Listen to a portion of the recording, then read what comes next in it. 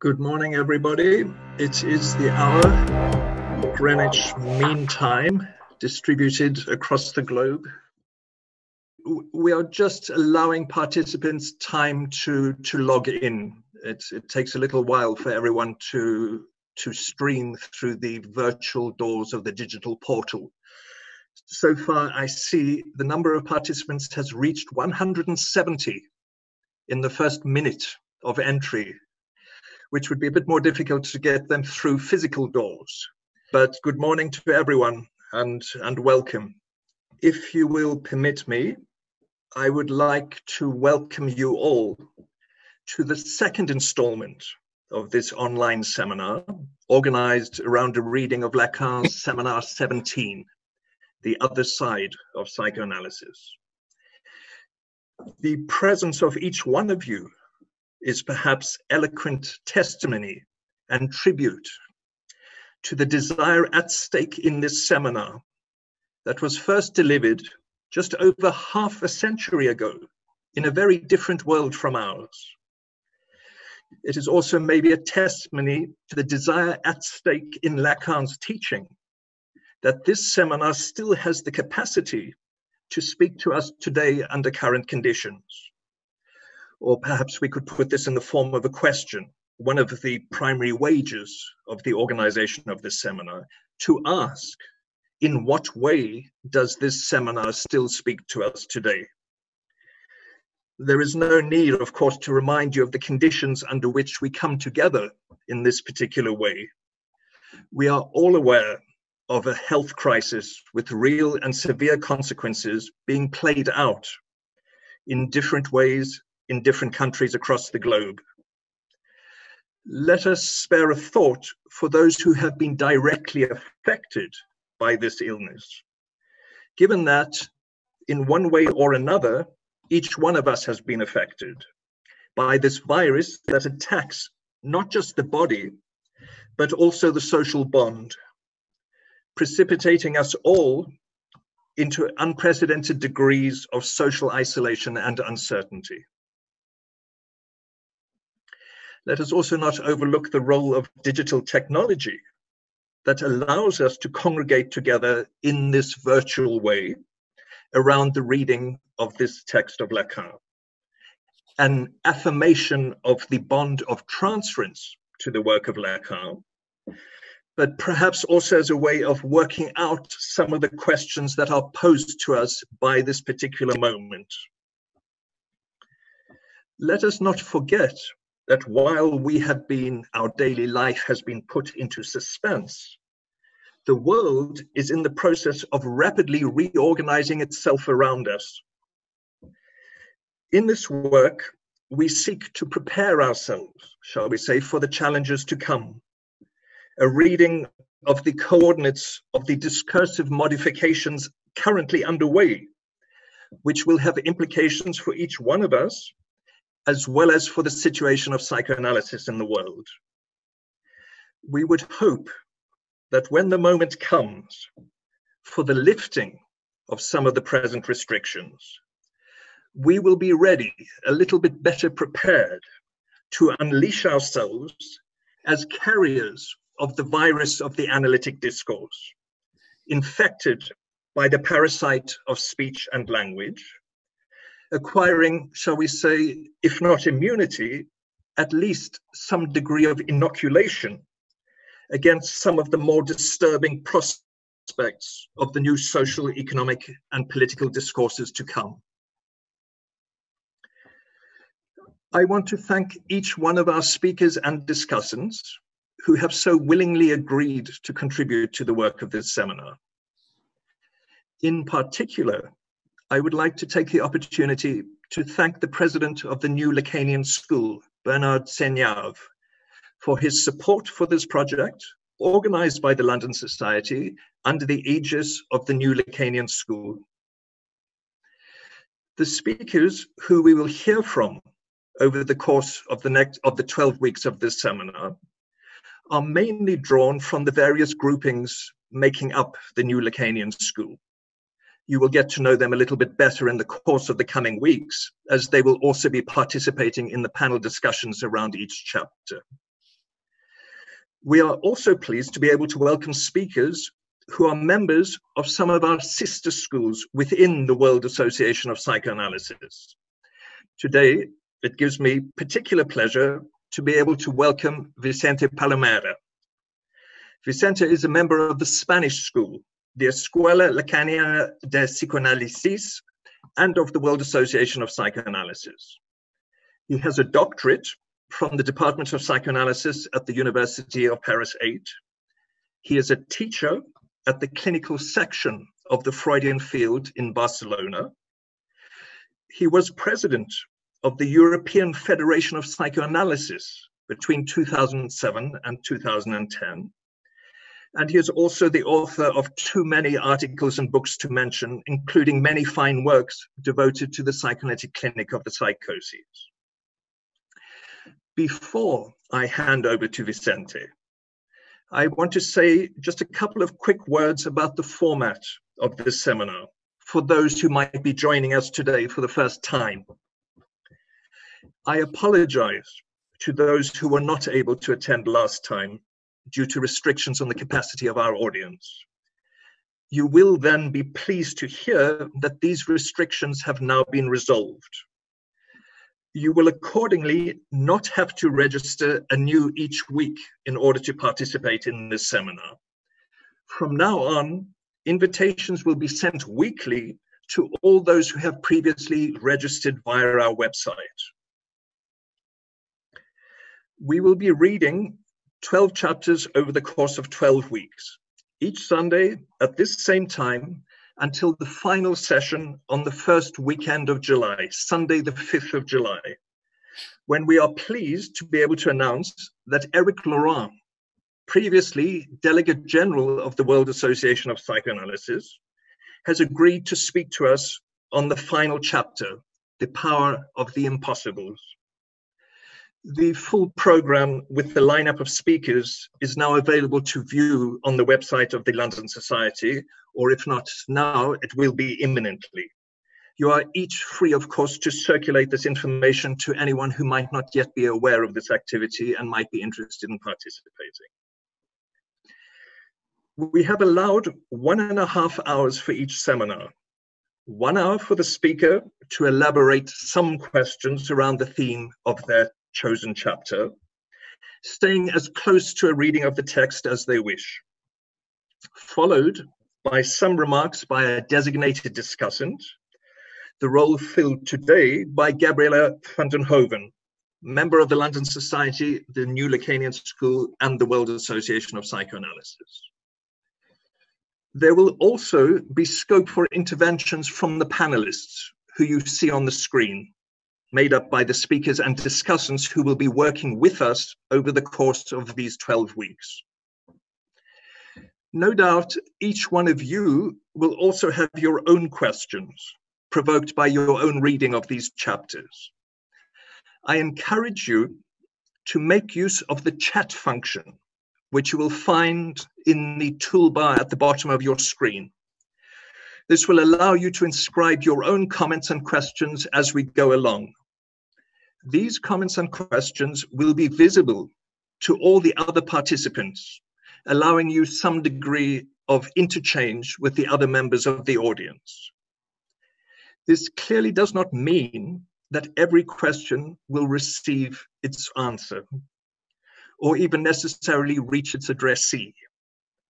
But I am sure that you will appreciate not just the technical limitations of the digital format, but also that in psychoanalysis, the questions are far more valuable than the answers, given that in the end, it is the questions that drive the work forward and support our desire. Having said that, I am now pleased to be able to pass the word to Vicente, as I am as eager as you are to hear some of the questions that might have been provoked in him by his renewed encounter with this chapter. Vicente? Good morning to everybody. Um, a few words before I start, um, just to thank you for the invitation to the London Society. Um, uh, I remember that um, 33 years ago, I was invited um, to, to, to give a seminar in, in London, in, I think in the late 80s. And uh, I was asked to talk about the ethics of hysteria. Um, from now, from now on, in this seminar, um, we have to tackle the question of how to read uh, Lacan seminar 17, seminar 17, a seminar that was given at a time when politics took to the streets. Uh, there was a time uh, where Lacan did not hesitate to go looking for a new discourse of the master, that of the university, a discourse thrown into question by students. The front page of seminar, the, the French edition, is very, uh, you remember very well this, this photograph with um, the police and facing Cohn-Bendit facing the police.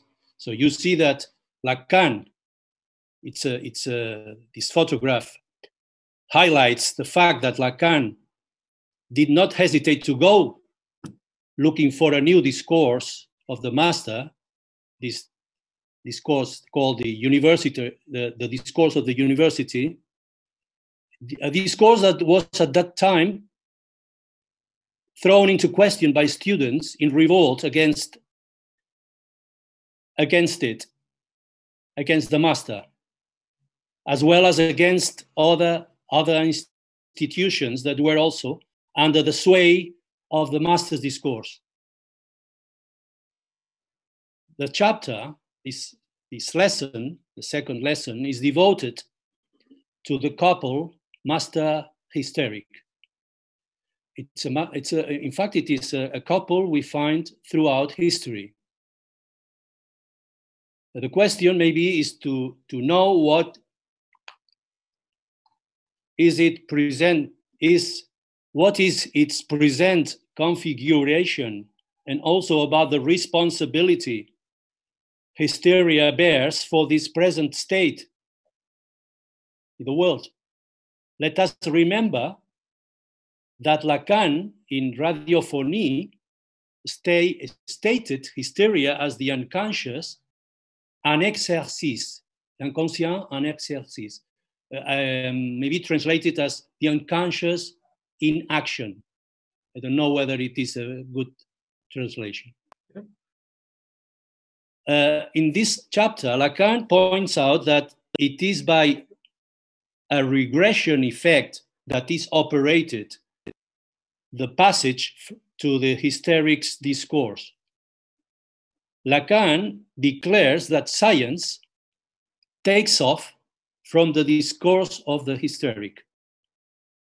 So, clearly, hysteria is in the origin of the desire that give rise to science,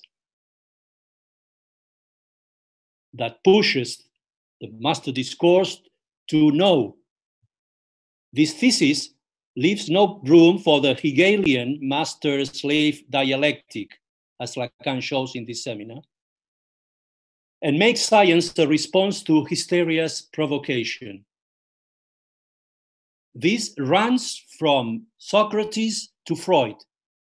Socrates is described as hysteric since he said that he knew nothing except matters of desire.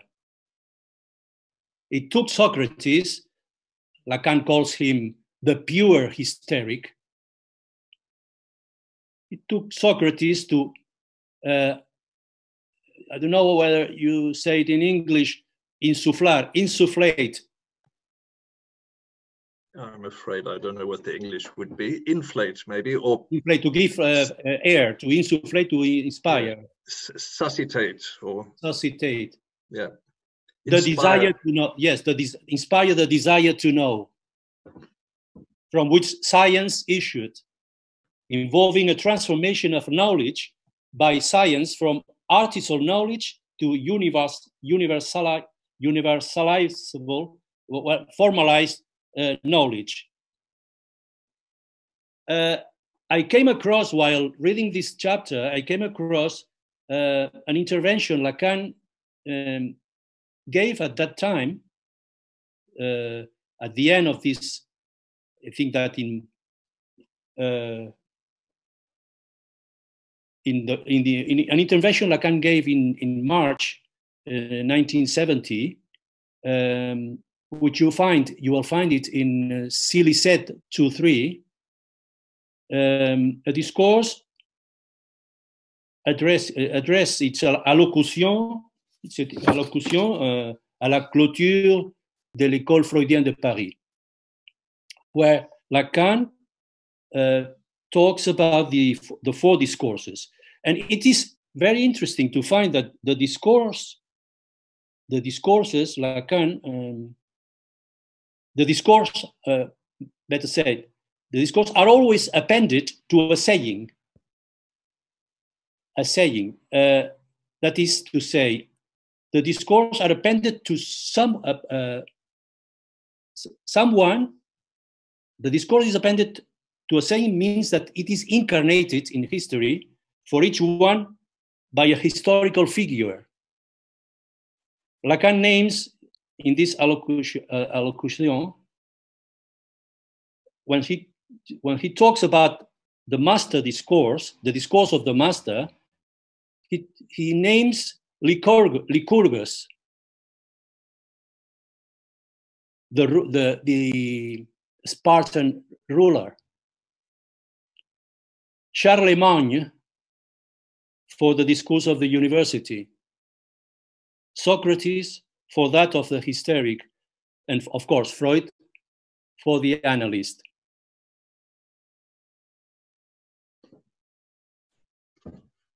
It is very interesting because this is something which is going to take a very important place in, in Lacan's teaching, revealing that um, because Lacan in this chapter, in this second lesson, is, is going to talk about the interpretation, uh, the enigma, and citation, the quotation. Uh, and it, this is very important because Lacan points points at the question of not so much what is said, but the fact of saying. This is why Lacan will start speaking, uh, uh, speaking about the question of the utterance, the saying, the, the, the, the saying as an event. So these four discourses that are appended to a saying to someone who started this new uh, new uh, adventure in in human history, the discourse of the master uh, appended to Lycurgus, Charlemagne and the discourse of the of the university, Socrates in the hysteria, and Freud, uh, the, the miracle, the, the enigma, the riddle of the of the uh, beginning of the analytical practice, um, Lacan shows us the articulation between a discourse and the enigma that this or the origin of this discourse uh, implies. So Lacan shows us in this seminar that while knowledge cannot articulate the hysteric, the hysteric ushers the articulation of knowledge.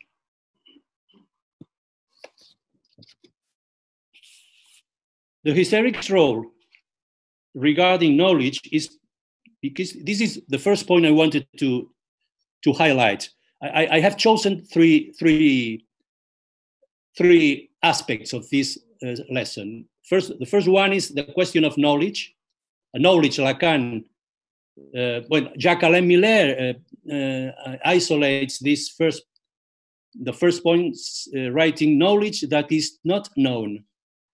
I will tackle, secondly, the question of hysterization, which is a very important point in this chapter, hysteria, hysterization. And the third point, citation and interpretation.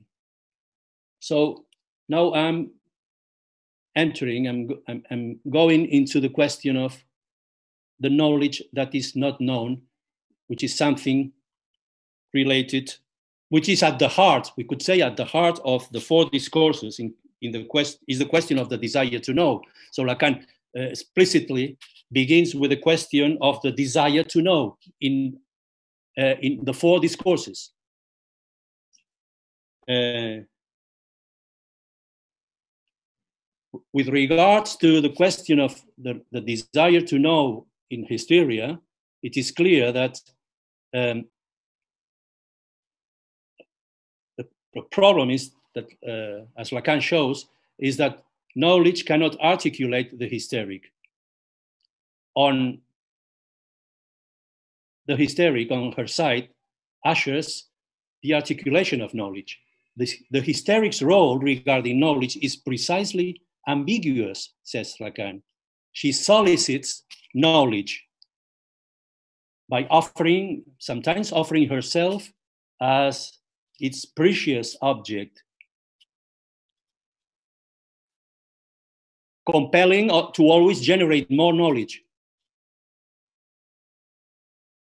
But on the other hand, her solicitation pushes knowledge to its limits demonstrating the, that knowledge does not coincide with the truth that is supposedly that it supposedly expresses.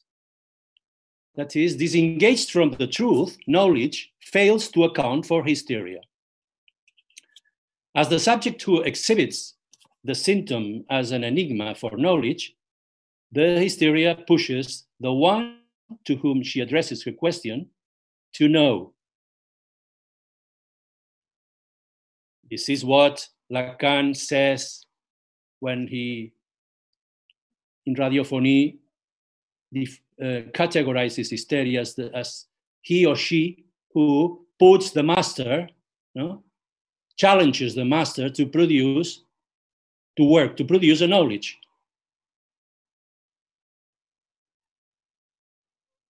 Pushes those, he pushes the one to whom she addresses her questions to know and to produce a knowledge. She offers herself, herself as a ravishing enigma.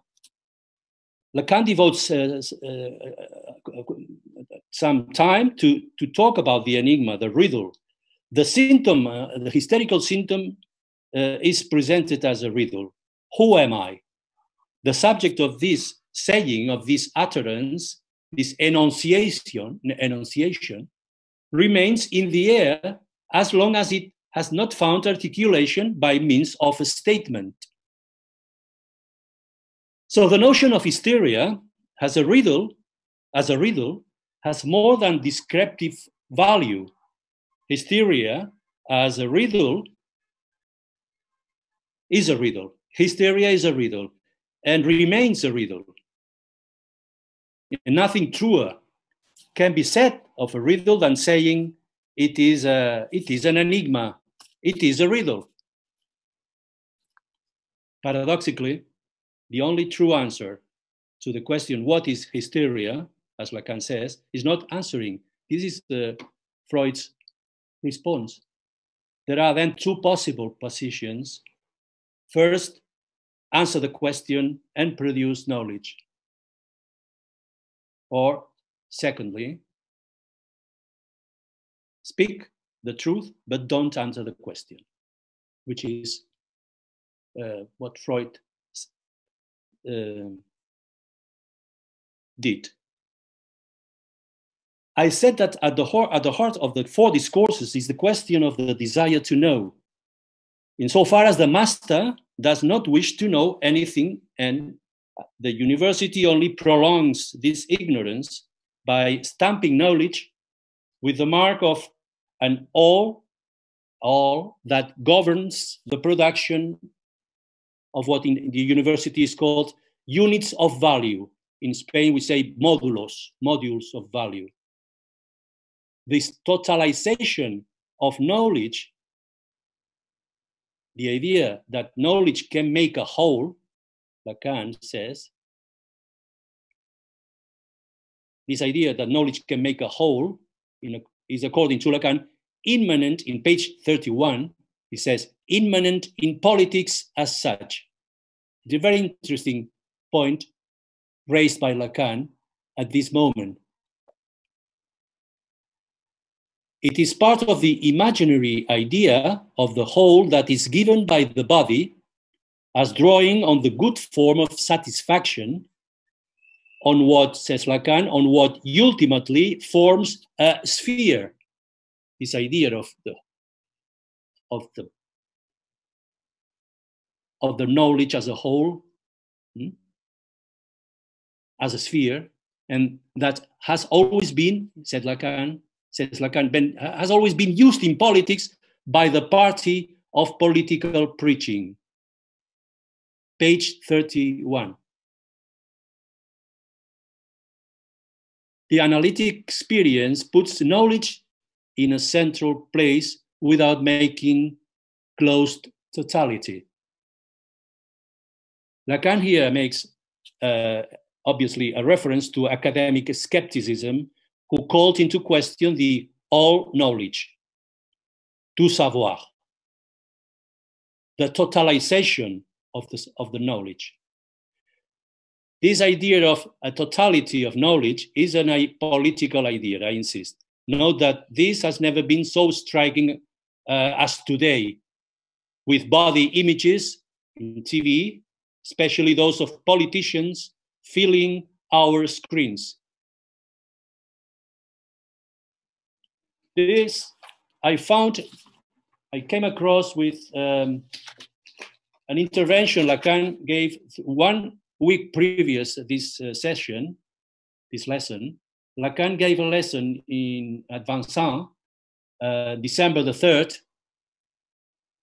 While addressing the audience, he said, This has a very important consequence, says Lacan, especially for the revolutionary. Nothing, well, in French he says, rien, rien n'est tout. That is, I rendered uh, uh, nothing is all in English. Rien n'est tout.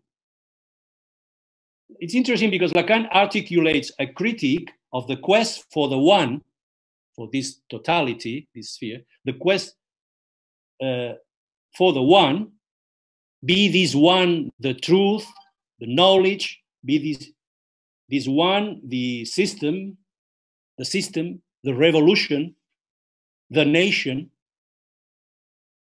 arguably the most salient contemporary manifestation of an impulse to totalizing knowledge that he saw as characteristic of the political as such.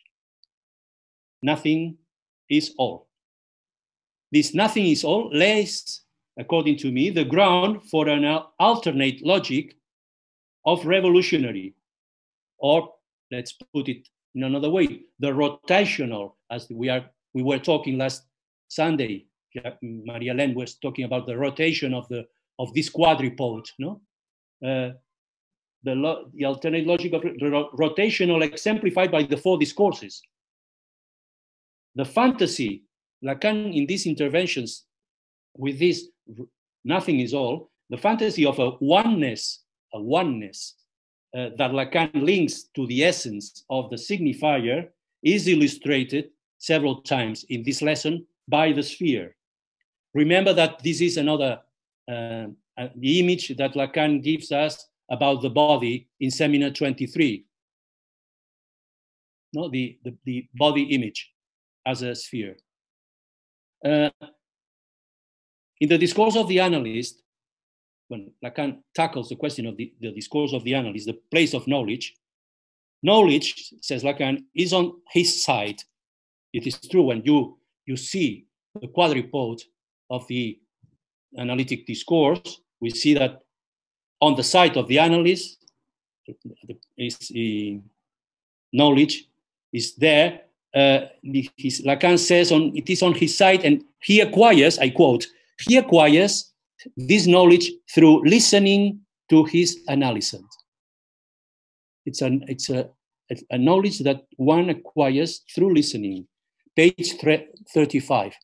This is indeed a transference of knowledge.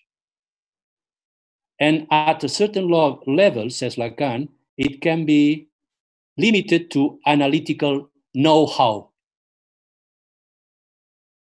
Page 35. Thus, via trans- this transference, the analyst will approach this knowledge as truth, that is to say, as something that is not a whole and can only be half said.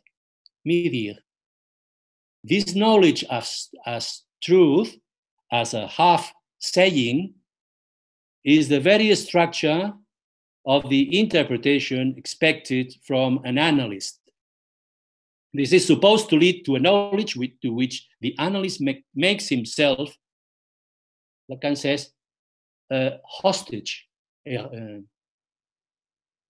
uh, a knowledge of which he is prepared in advance to be the product of the psychoanalyst, psychoanalysis co- cogitation, says Lacan, insofar as, as this product, he is in the end destined to become a loss to be eliminated from the process.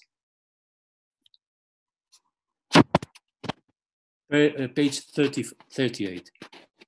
Lacan highlights then the fact that the analytic experience is based on the fact that, at least ordinarily, we do not know what we say. In fact, this is the rule of the free association it's an invitation to say what we do not know. And when we listen to this, when we read Lacan, this we do not know what we say means that what we intend to say is not the truth of what we say. The agent of speech in the, in the analytical discourse conveys a meaning unknown to him.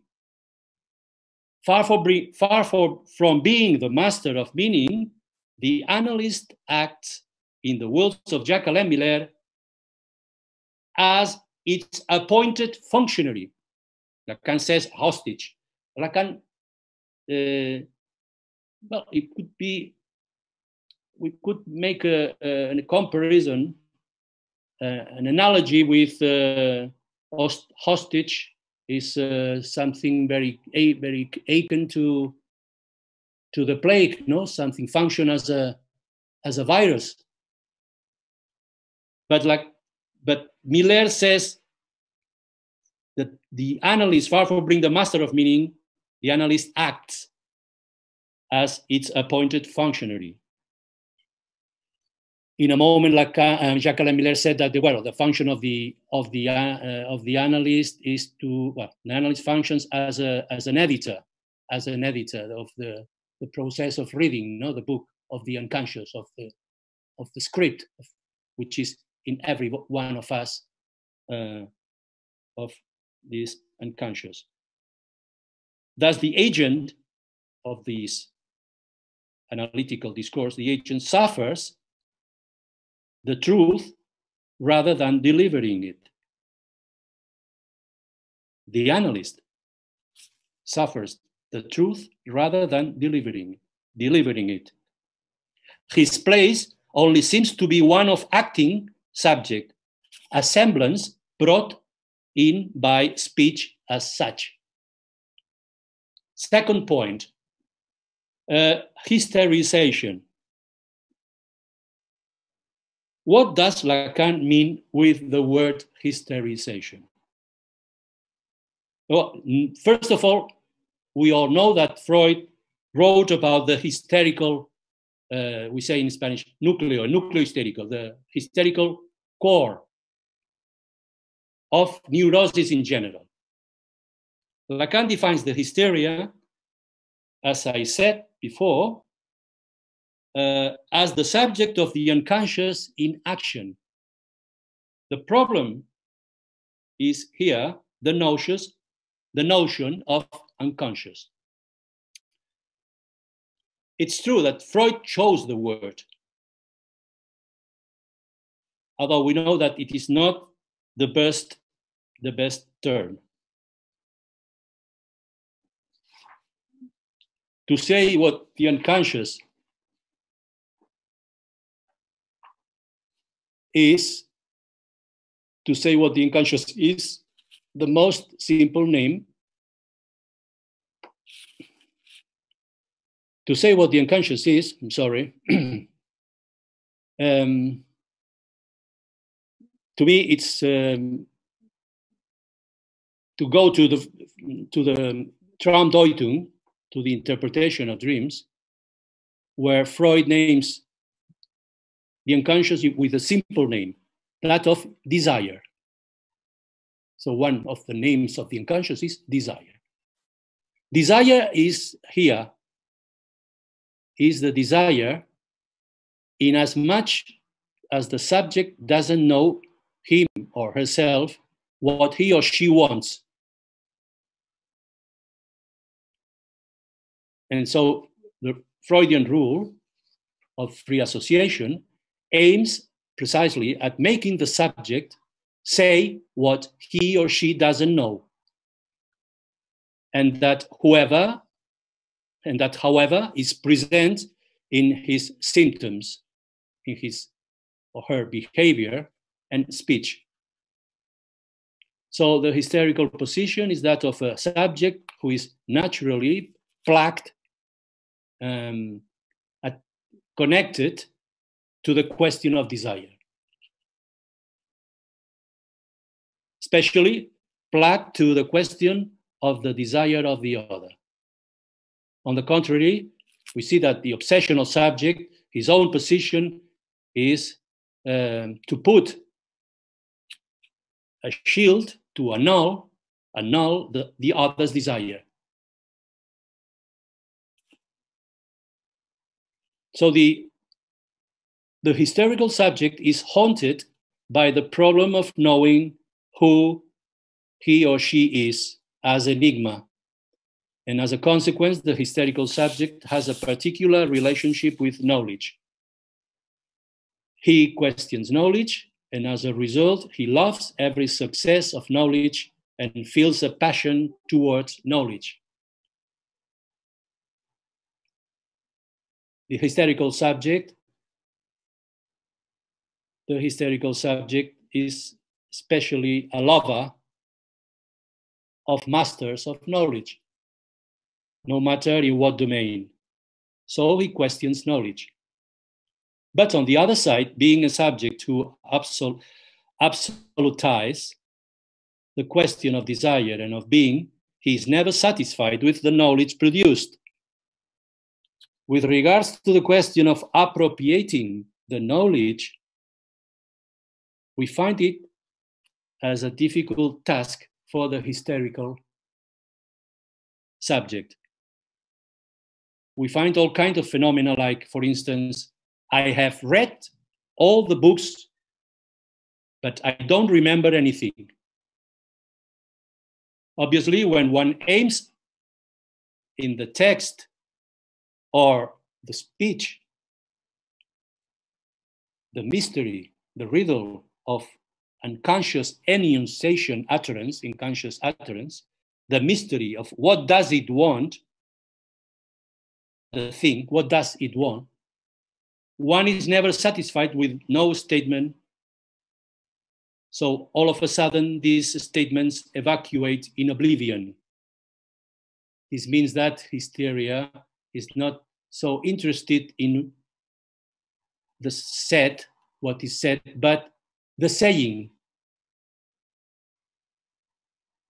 Why do you say what you say? So then, all the said is um, evacuated in oblivion. So what we call hysterization, or Lacan calls hysterization, is a necessary, necessary stage where the subject encounters the presence of the enigma of the desire of the other. When he, the present, when the subject encounters the presence of the enigma of the other's desire, an enigma from which the subject protected himself or his thoughts with his thoughts in the case of the obsessional by means of a strategy of annihilation. So hysteri- hysterization is the necessary condition to enter in psychoanalysis, insofar as it makes present the dimension of the unknown desire, and with it, an appeal to the subjects supposed to know. Finally, third point citation interpretation. Uh, I will take uh, and I will thank uh, Philip Travers yesterday because he uh, helped me to translate it into English. Qu'on dise reste oublié dans ce que se dit. It's a phrase, it's a, sen- it's a, a sentence uh, taken from a sometime later this uh, seminar. Uh, Lacan writes this, but it is present in, um, in the following teaching, Lacan's teaching from 1969 onwards. The translation that one might be saying remains forgotten behind what is said in what is heard. I think this is very important to, to understand the, the step that Lacan is going to do in this seminar concerning, regarding the question of interpretation.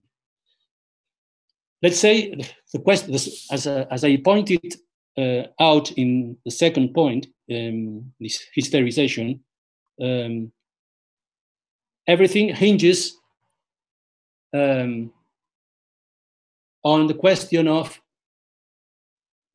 desire.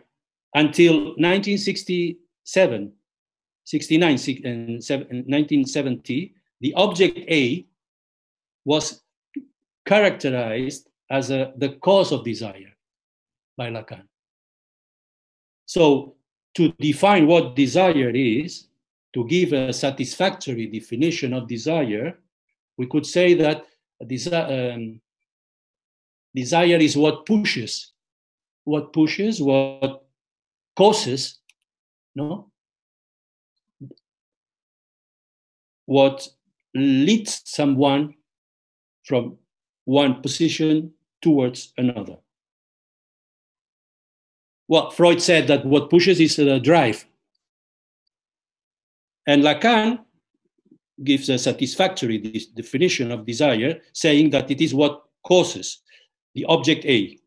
But Saying this, Lacan recognizes that this does not say where this desire points at.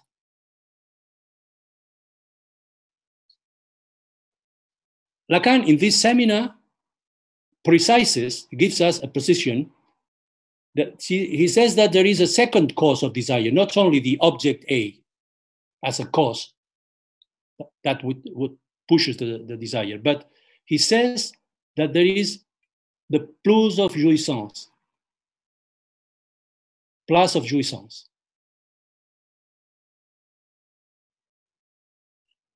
To redefine the object A as plus of jouissance means not only saying towards what points the desire at, but also saying the cause of desire.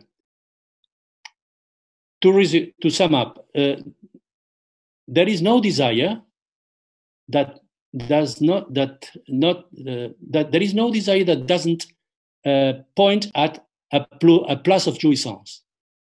That's why Lacan from now on, will not maintain the opposition between desire and jouissance. Because both what pushes desire, the object A, pushes the movement of desire, and the search for jouissance does not allow to maintain this opposition between desire and jouissance. That's why Lacan is, this is what led Lacan to build the four discourses. There are no discourses that are not discourses of jouissance. Even um, Lacan in L'Étourdit speaks of the, um, the races of discourses, a, cer a certain uh, racism of the discourses. Every discourse is a discourse that organizes uh, the envelope the, by means of the signifiers that the envelope that envelope the jouissance.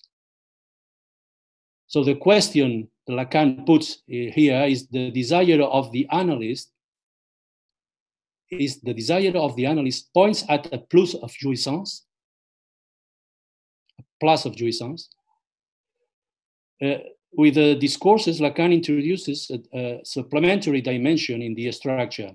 Lacan writes the discourses with these letters S1, uh, S2, notice the, the signifying chain, S1, S2, the object produced by language, the object A. But be, beside this, there are four places. The, the, the, place of the truth, the agent, the other, and the product, the product. And Lacan, but Lacan does not say how these places are produced. But these places suppose the dimension which is not that of language, but suppose that they belong to a dimension which is that of saying. That's why I, I recalled this um, reference Lacan gave, gave in, in his allocution uh, in the École Freudienne de Paris, where he appended every discourse to a name, saying all these places suppose the dimension of language, but also of uh, the appearing of a, a discourse in, in history is, is, relate, is related with the question of the saying. Saying is an event, and what that's why Lacan will start speaking about uh, événement de discours, uh, an event of discourse, saying that an event, to differentiate événement de discours, event of discourse, from événement de jouissance. Uh, saying event, we could say, an event of jouissance. This you'll find it in uh, L'Étourdit, uh, 1972 and that's why I took that uh, that sentence, that statement that you find in the L'Étourdit, that one maybe might be saying remains forgotten behind what is said in what is heard.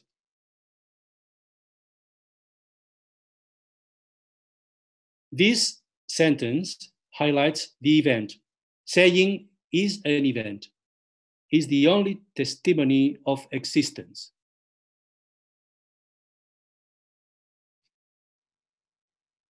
If Lacan at the, at the beginning of his teaching taught that desire, he placed desire between signify, the signifiers, what, what he called um, le dit entre interdict, interdit, uh, what is said between. So at the beginning of his teaching, Lacan placed desire in what is said between signifiers. Now, Lacan points when talking about interpretation to what pushes to say, not the saying, not the sets, but the saying, what pushes to say. That's why Lacan points to says that it's this place is uh, mute. When he um, when he when he spoke about the truth uh, la vérité je parle the truth uh, speaks uh, I the truth speak this I speak Lacan places this I speak the truth on the side of the signifying chain. To speak is to speak with the signifiers. We cannot speak without signifiers.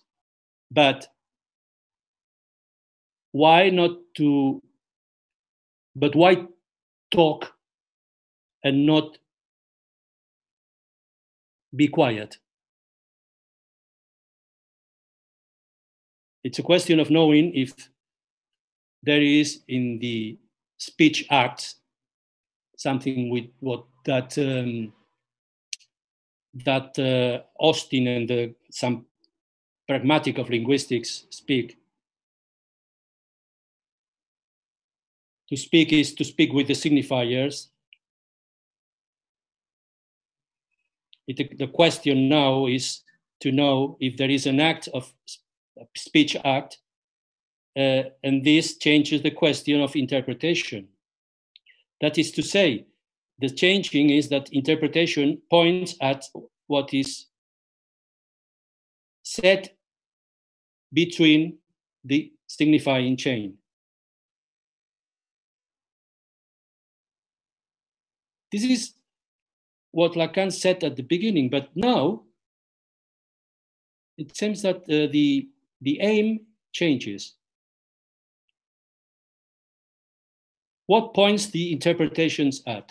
The interpretation does not point at what is entredit, inter, uh, set between desire. What we interpret is the saying of the demand the word of the analysand, which develops in the signifying chain the images or the saying or the sets, the sets, uh, what is said that can be recorded, that could be, um, uh, you could take notes of what is said. Well, Lacan says this is not what is interpreted. What is interpreted is what is the fact that it is said. The fact of saying, not the said, but the saying.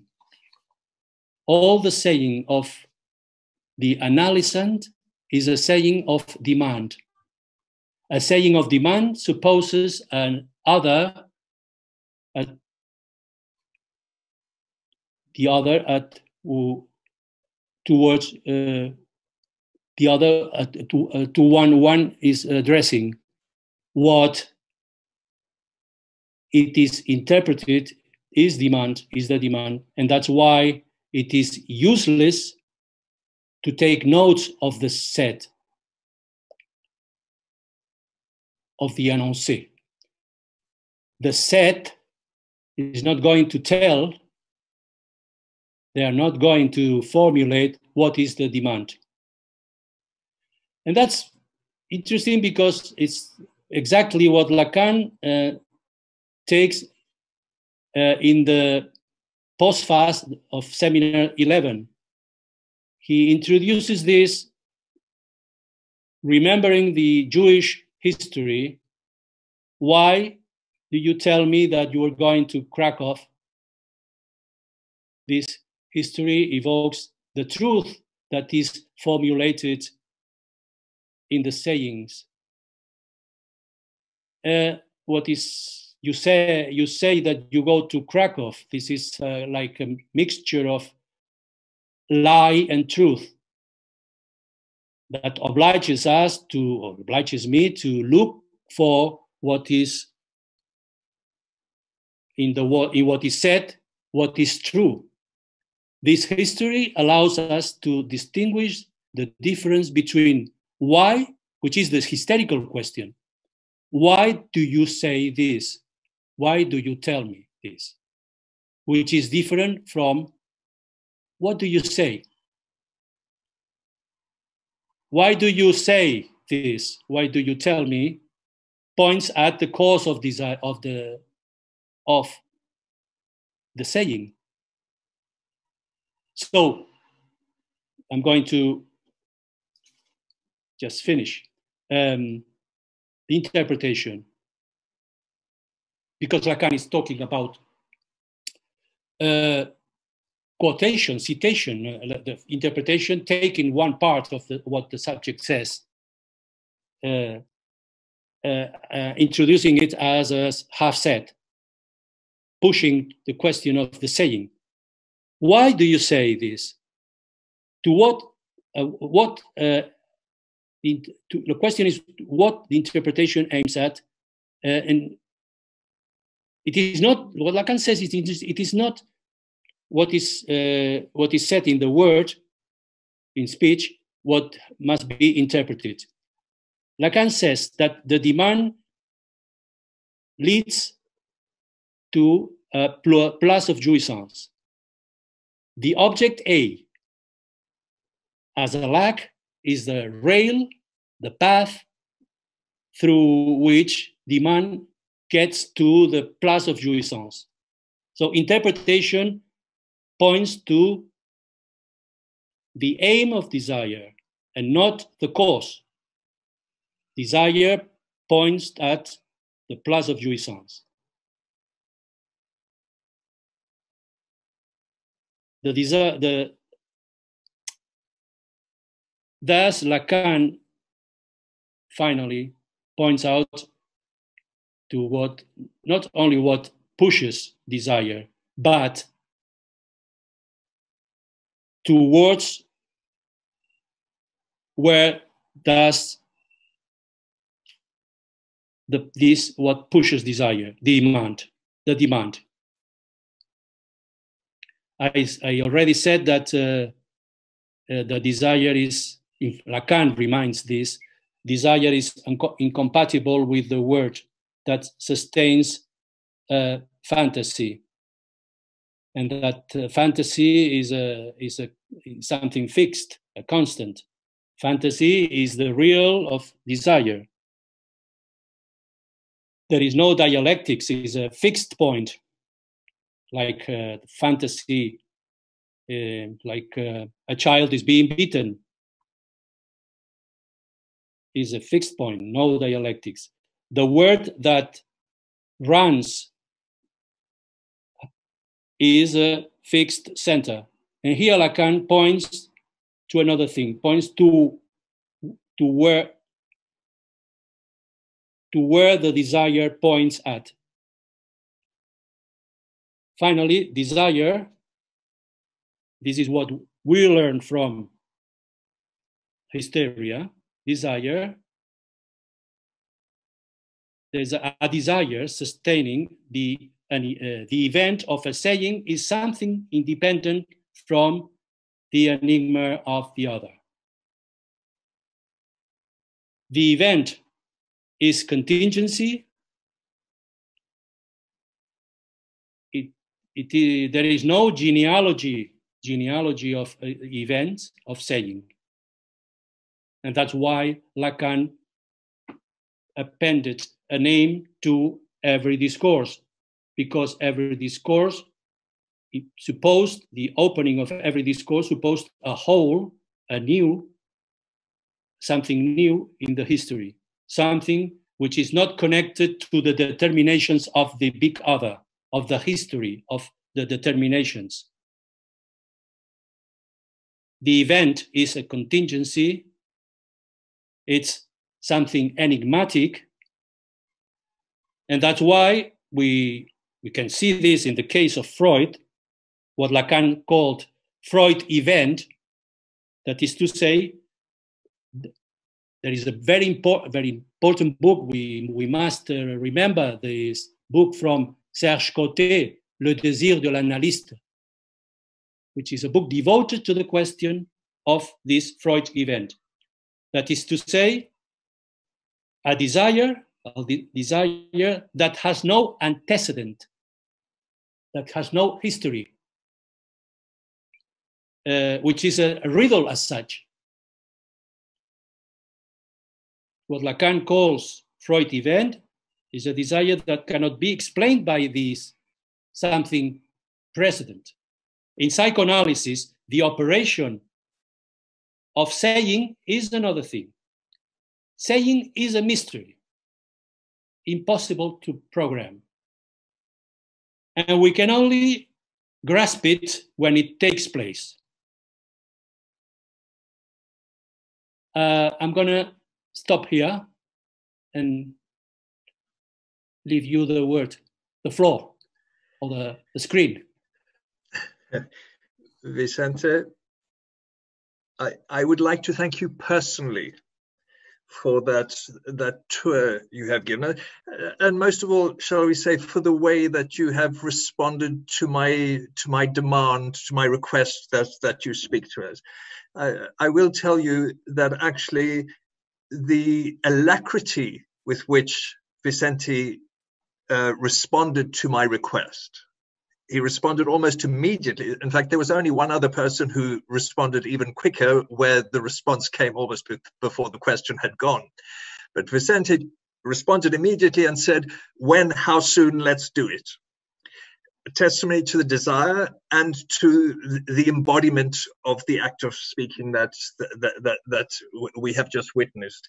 This shall we say masterly trajectory through this chapter and the questions but suffused with with the desire and a questioning that that that that, that testifies to the index of of that desire. I myself have been taking notes about what Vicente has said but as he pointed out, that doesn't necessarily help us uh, formulate the questions that each one of us will will say. I would just say before I pass to Gabriela to to pose her uh, her questions, that I find it striking that at the launch of the very seminar where Lacan will propose, shall we say, a, a, a discourse without words, Vicente has put the act of saying back at the center of the question of, of, of discourse, allowing us to locate this the, the distinction, the division. But, uh, could you play, please say it again? I, I, I lost. Um, I, I was saying at the launch of the seminar that proposes the formulation of the discourses and the preference for a discourse without words, a discourse without speech, you have put the act of saying back at the heart of the problematic via this distinction between statement and enunciation, enigma and citation, knowledge and truth. Most of all, what, what I found really useful is as you've as embodied in the hysterical discourse. I, I, understand much more about that distinction between enigma and citation via the, the question of hysterization, the, the operation of hysterization that you've situated as the threshold of the, the psychoanalytic clinic. But most of all, as you pointed out, that it has it's something that has to be embodied, putting our body on the line and under these circumstances, where our speaking tends to be more and more digitalized and recorded and filtered and suffused, it is fantastic to hear the, the work of the body put in its place. And for that, I, I thank you, and, uh, and we all thank you. Um, may have some comments of her own. Gabriela? Thank you, Roger, and thank you, Vicente, for such a rich presentation that um, I'd like to kind of interrogate by kind of opening with a question about what you said at the beginning. Um, you start your paper saying that in history uh, there, there is a couple that always goes together, uh, the master and the hysteria. And today we see that there is what we could call um, an epidemic or a pandemic of hysteria. We see that the divided subject is very much present on the scene.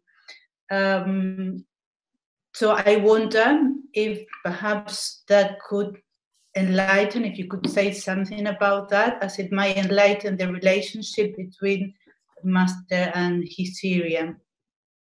Mm-hmm. Okay, now, so um, shall I respond now or wait Please, for okay. say, no, tell uh, us what you can. When um, the um, uh, it was Philip uh, last time when he recalled uh, uh, Lacan's uh, an intervention from Lacan in, in, in Yale, at Yale University at Yale University, talking about epidemias, the, the history as a um, that uh, an epidemia, uh, that the history of humanity could be uh, um, this, the, the, articulation of, of the, uh, several epidemias. Epidemics. Epidemia, epidemia, no? In English, it's epidemics. Epidemics, not epidemia. Even in Spanish, it's not epidemia. yeah, but we, we suffer from it one way or another, yes. Yeah. uh, epidemia. Um, and Lacan responded that, uh, well, it was a question about the plague. Remember that Marie-Hélène spoke about the question of uh, the Sphinx and the riddle and the hysteria in Oedipus and the plague. No? While we are now uh, surrounded by information about the virus and the plague. A very, very uh, important question now. Uh, so uh, let's remember that the history of um, uh, of the, uh, the history of mankind is related to epidemics, very important epidemics that have changed every time there is an epidemic, have changed the world. Uh, every time we speak of epidemics, we, we speak, of course, about um, this virus, these bacteria, viruses, but we don't say anything about um, what is the uh, pandemias and what are these um, parasite, parasites that aff afflict uh, the human being, or the parlêtre, as Lacan says, the speaking beings uh, affected by the signifier. Uh, and one of, of um, well, everybody is, uh, agrees with, with Lacan and that Freud invented uh, psychoanalysis thanks to hysteria. Mm-hmm. Um, when I heard uh, Philip last time, I thought of uh, um, a question of uh, epidemics and, and remembered uh, um, a doctoral thesis by uh, um, Gérard Wajeman, uh, not published in Spanish or English, but very it would be very interesting to to have a translation now. The Le Maître l'Hystérique, the master and the hysteric. Mm-hmm. There, um, uh, you see uh, in the description of uh, an epidemic that took place in um, in a little village in at, at um, Savoie, la Savoie, la uh, Savoia Italiana, Italian Savoie. Savoie. Uh, it's, it's a region, the, the village is uh, Morzine, very mm nice village in the in the Alps. Um, he, Wajeman, um, in this book, I went to to visit this um, to re- re- reread the book of uh, Gérard Wajeman, re- uh, explains very very nicely um, the articulation of the hysterical discourse with the discourse of the master. So, because first of all, there is it's uh, it's an it's an, uh, an, an that took place uh, during uh, the last uh, uh, between nine, 1856. I remember. I'm saying this by by heart. 1856 up to nearly 1880. So nearly 20 years, an epidemic that started um, in in this little town, and that in, first uh, first is it's a, a hysterodemonopathic uh, hysteria because uh, it, there were cases of possession of the devil, and the, there was a, a ten year uh, a ten year old girl that uh, um, that uh, started those what we could name it as the patient zero, no? Um, mm-hmm. a girl that uh, that while was while she was preparing the the, um, the first communion, she started with these symptoms of um, faints, uh, falling into a river, etc. So some fits that began spreading all the, the, the region. Other girls started with, and so on. The question is that it, it took 20 years to control this epidemic. Uh, and uh, you see how the passage from the church, the scenario, the first scenario is the church with these um, um, uh, um, processes of uh, intervention of the priests trying to take the devil from the bodies of these first there were these young girls but there were also men and older women mm-hmm. in in the place so it took this time to you see the process of changing from the church and the priest to the, the doctor and the hospital. Uh, the Morzine um, became, uh, this region became um, a part of the French nation. And uh, when the French took possession of this region, then they uh, um, sent from the Salpêtrière, Dr. Constans and other med medical doctors to see what, what's happening because neither the the church nor the traditional measures helped to give a solution to this epidemic. So it's very interesting the displacement from the discourse of uh, from the places of the master, from the church and the priest to the hospital and the doctor, and also a, a changing of a period. Uh, and this, um, when I um, reread this uh, book from Wajeman, I, I remembered also um, this sentence that Lacan, uh, the, the, the, last definition Lacan gives of uh, the hysteria.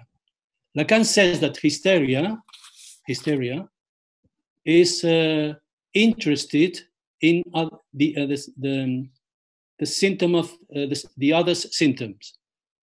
Mm-hmm. So he and he also that he or the subject, the hysterical subject, interests the other in the symptom of the other. I don't have now this um, quotation, but I think that uh, see, he says that the capacity, well, uh, we, we could say that the hysterical has the capacity of being interested in uh, in others in the other symptom and thus having interested the social field in other symptoms. We could say that this uh, epidemics in morzine is an example of how this little girl and others interested the whole community the whole nation and even france and the authorities to interested in others symptoms uh, the definition of symptom here has the merit of in including the intrigue, which is at play here, as a modality of constitution of uh, a kind of link where the hysteric is an agent. But um, in uh, to to be interested in the other symptoms is perhaps something that could be according to your question the question that i would say i would put now is is this symptom of being interested in others symptoms is a dominant is, is something dominant in in uh, the his, the contemporary hysteria? Is is something present now in hysteria I we remember Anna, Bertha Pappenheim, all this that began with Bertha Pappenheim, Anna O, celebrated as one of the most important uh, uh, social uh, activists in uh, in Germany. Mm. We or we could I could we could take the example of Florence Nightingale, the nurse that mm. revolutionary uh, introduced a revolution. No, so this making interest uh, to be interested in other symptoms is perhaps what leads us to understand why we say that there is a very strong uh, relationship between hysteria and the master discourse. Yeah. Uh, uh, Vicente, uh, thank you for your uh, and thank you for your question, Gabriela, because it, it, goes right to the heart of that articulation between the, the master and the hysteric, because as you yourself pointed out at, at the start, this seminar will trace some, shall we say, of the mutations, the modalities of the modern master, ancient master, modern master, the the university, science, capitalism, the, the, the mutations, the hybrid mutations of the discourse of mastery, all the way to the elaboration of the discourse of capitalism. Perhaps what we we tend to overlook on the is the role of the discourse of hysteria as the provocation of some of those changes. And maybe we don't ask often enough about the mutations in the discourse of hysteria that accompany the different mutations in the discourse of, of mastery, including to the point that you suggest, Vicente, where maybe we can think that hysteria is the epidemic let's not forget that hysteria has the epidemic qualities of, of, of contagion, um, which is why your mention, for instance, of, of Florence Nightingale is, is a fantastic example because was she not the leading figure in the hygienic treatment of, of epidemics of whichever plague that it was? Um, we will allow some comments from, from Vicente, unless Gabriela has another question, and then we might throw it open to the panel if anyone else has a comment or a question at that stage. Gabriela, do you have another question that you wanted to pose? Yeah, I have a couple of questions, but I'm just gonna have want to ask one more question question before we move to the panel, uh, because it's um, a very pressing question for me, and I think for anyone that is practicing psychoanalysis nowadays. Um, you spoke of interpretation, interpretation as an enigma, citation, and uh, the desire of the analyst. And the pandemic has kind of forced us to resignify our conception of time and space. Uh, and we find ourselves um, delivering treatments analysis online or on the phone. Um, I just wanted to know um, or ask you a little bit about what can you say in terms of our interventions um, or the the effects uh, that analysis done on the phone, um, the problem that it might bring, or, or, the advantages. I mean, what are your thoughts in terms of the, the current kind of clinical situation of mm-hmm. practice? Well, actually, um, Gabriela is a, very important question. You, put, you you raised this question because it's um, um, in it's it's a hard question, I could say, you know, in, in present time. Um, there there have been. I, I must be very humble with uh, the answer because uh, what I'm now doing is uh, trying to to learn more from what we call the, the analytical session. Uh, there have been some opinions, comment, uh, comments, some um, um, some analysts that ex- explain their experiences in in using no uh, mm-hmm. these uh, tools, these uh, gadgets, these uh, these um, means that allows us to to go through this um, strange period of time in in practice no but um, uh, i would um, i would say that um, there is something is it possible to to make an analysis by phone is it possible to make well of course these are um, tools that can be used but um, Jacques-Alain Miller, uh, I, I recall, uh, make a, cit- a quotation now. Jacques-Alain Miller Dixit, a quotation. Mm-hmm. Um, uh, in uh, le, uh, los usos del lapso, le, les usages du lapsus, uh, du lapsus, du lapsus, du lapsus. They use uses. We have, it, we have it in Spanish. Los usos del lapso is it is a, a, a course by Jacques Alain Miller, where uh, the first part is devoted to uh, to it's a research. It's a um, um, uh, on the question of what is uh, uh, the, the, analytic the, the, analytical session, and uh, Lacan responds saying that um, it is necessary that the analyst puts the body no in question mm-hmm. in order to represent the part that is not symbolized of jouissance, this part of jouissance which is not symbolized. So technology, Miller says, technology um, allows us, uh, without any doubt, to be there when we um, we are talking by phone or by Skype, etc. But being there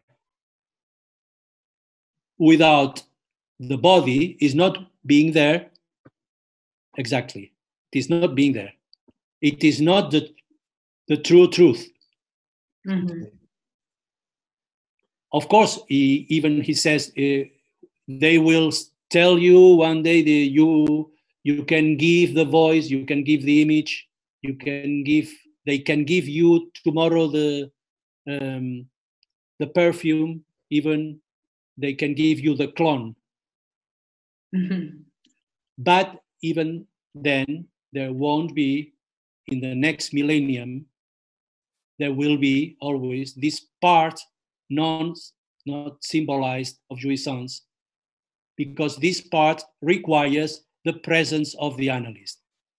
I think that this uh, this is a quotation this this is what is um, my um, um, work now. I'm I'm I'm studying. I'm I'm researching on this mm-hmm. uh, this phrase, this quotation, because I think it is crucial to understand the limits of the possibilities and also the scope and limits. We could say the scope and limits of um, um, virtual uh, analysis that that that is an analysis without the presence of the analyst the presence with the body of the analyst but um, i say this it is, and it is a very um, open question which will be without any doubt will be discussed among us in our community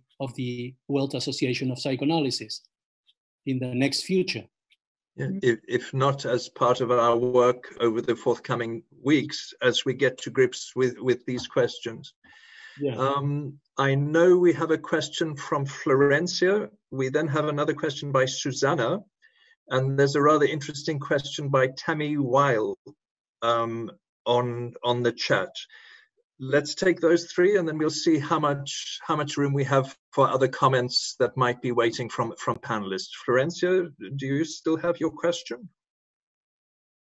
Uh, probably transformed at this stage, but uh, it was to, to, thank Vicente and uh, to go back to Gabriela's um, question as well in in relation to how he began with uh, the pair, let's say the couple, the couple that the hysteric uh, makes with the master, and Lacan's idea that uh, the the hysteric discourse implies the call or the appeal for a complement.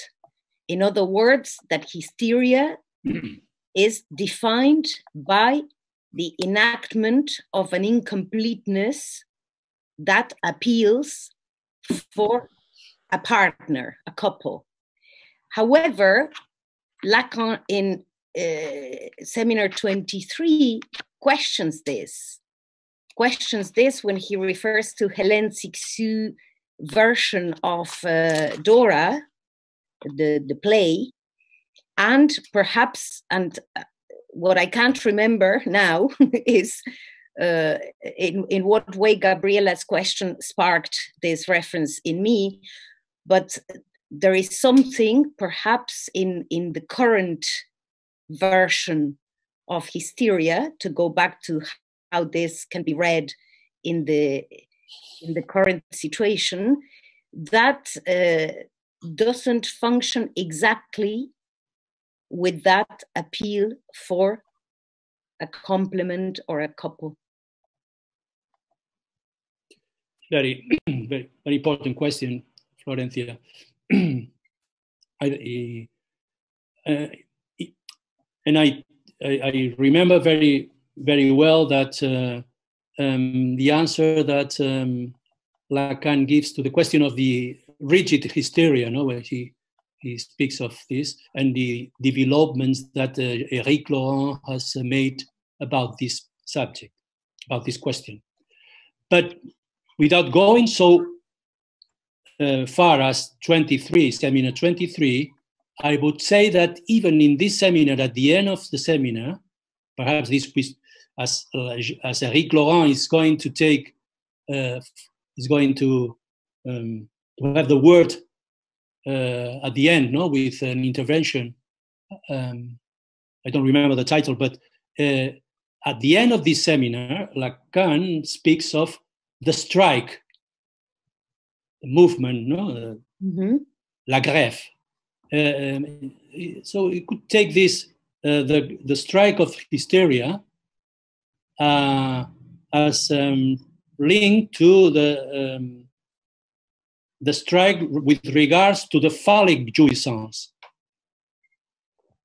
and um, that means that this strike is what uh, we we could we foresee uh, in the in the, the next future, as I said before.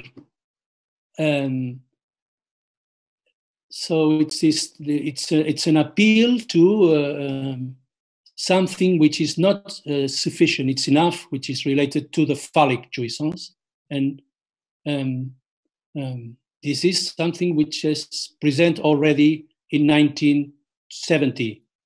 Um, so perhaps this reference to the hysterical strike that is to say this uh, position that is not it's not the, the, the, question of sleeping sleeping as an object sleeping away no not being um, uh, not not um, uh, not uh, being limited to the question of the fantasy the fantasy not limited by the fantasy, operating with as an object with, with uh, this count, uh, this um, complement, finding a complement to with which to find a way of of uh, uh setting up a theater. No, mm-hmm. the, what Freud called the the hysterical theater. Mm. Um, it goes beyond the question of phallic jouissance. The strike of phallic jouissance is beyond. So perhaps this is something to to be taken into account.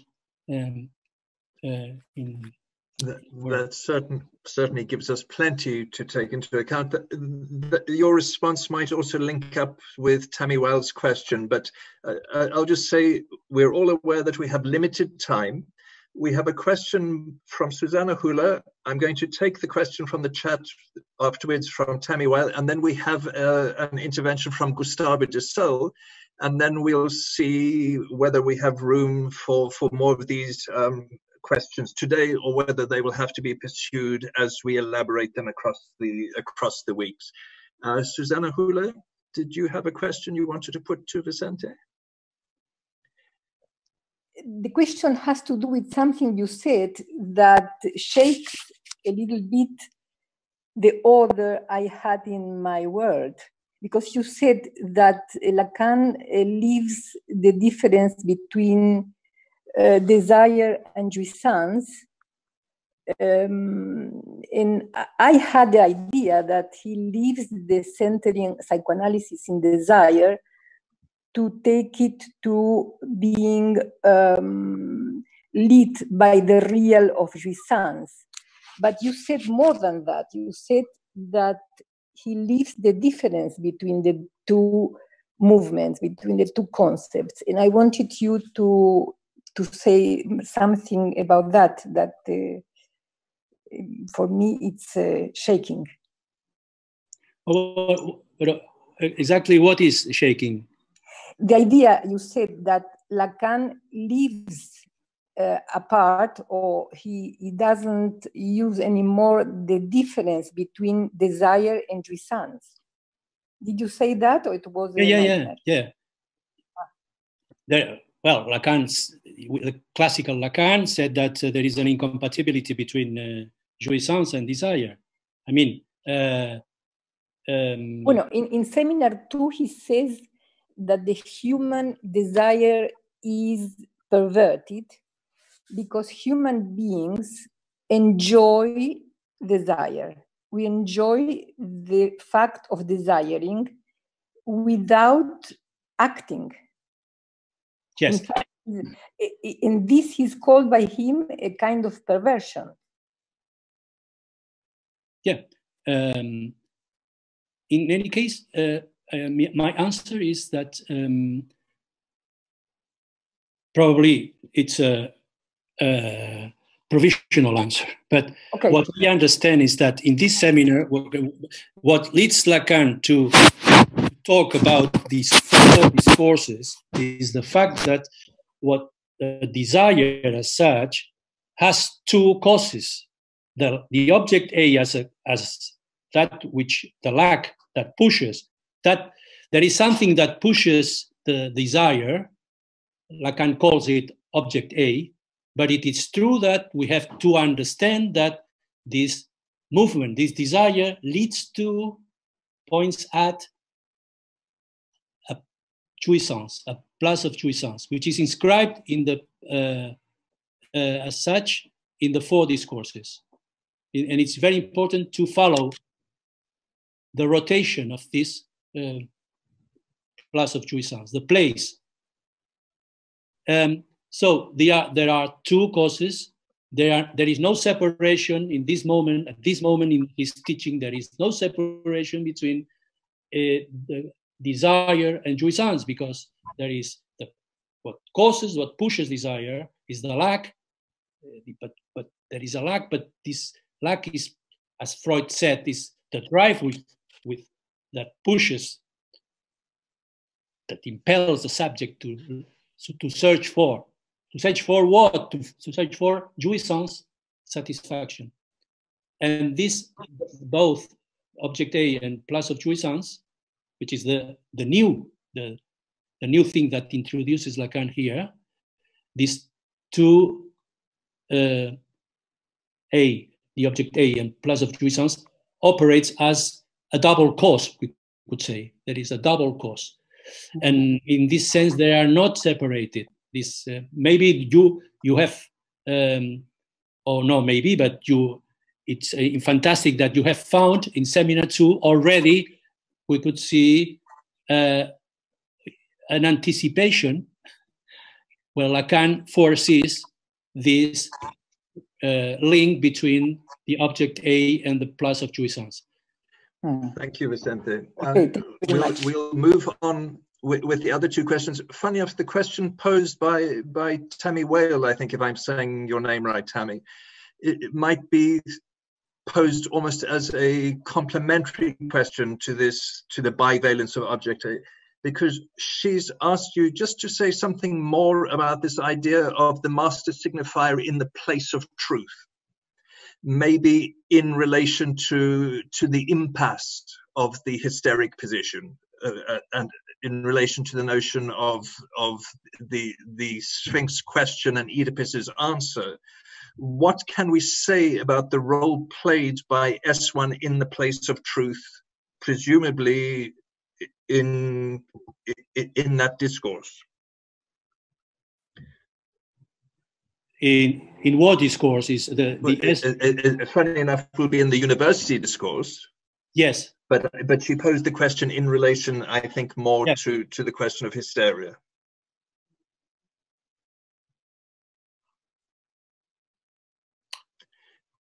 I don't think, if I understand exactly, um, I think it's a very it's it's an um, it's a subtle question. So the question is uh, the relationship between the, the on one side the, the, the hysterical discourse and the uni, the discourse of the university. Uh-huh.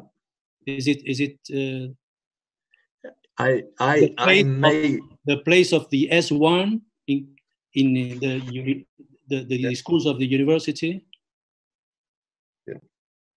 I'm sorry. I, yes, I, I, I may well have garbled Tammy's question a little bit, but but uh, I, for which I apologize. Given the lateness of the hour, could we yeah. then perhaps just move on to Gustavo's intervention and we will think about rounding up today's work and, and perhaps and, I, I, I, can have this uh, question and answer um, our friend and by by mail I, I will also take the opportunity to to mention that we will be keeping a record of the entire chat stream from okay. each of these sessions over the 12 over the 12 weeks. So that and I we can, will, yeah. So that we will see whether we can create some kind of written trace of the work that's gone alongside the spoken work that's a good um, idea. and and and put it to some kind of compilation work Gustavo, did you have something that you still wanted to say?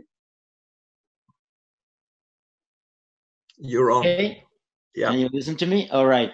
Thank you, Vicente. Um,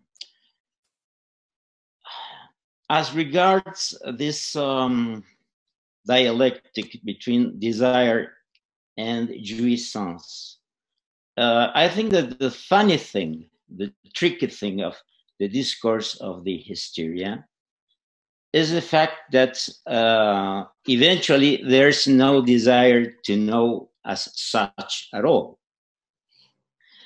Uh, I think that there is the demand. This is the trick of the hysteric. There is uh, the demand that the other knows. Uh, and does the other know?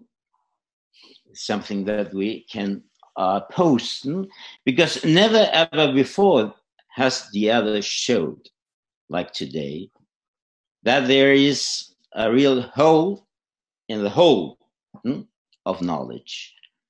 Uh, so, um, especially if we uh, consider uh, the politicians in the place of the other, the scientifics in the place of the other. And uh, uh, well, uh, we can realize that, of course, um, is the discourse of hysteria has reached its purpose to denounce that there is a, a very deep and ample hole in the other knowledge Nobody wanted to know anything about the epidemic at first and the pandemic afterwards. The master is castrated. Mm-hmm.